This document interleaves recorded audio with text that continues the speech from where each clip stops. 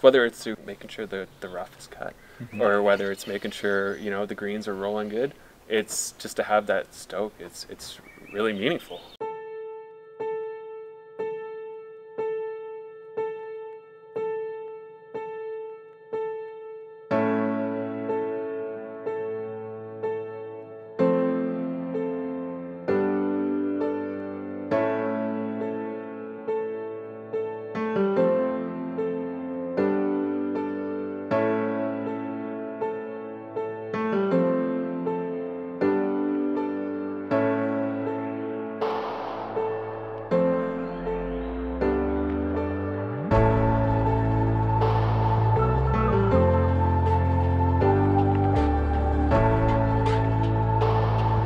Just thought, you know, these kids should be given an opportunity anyways.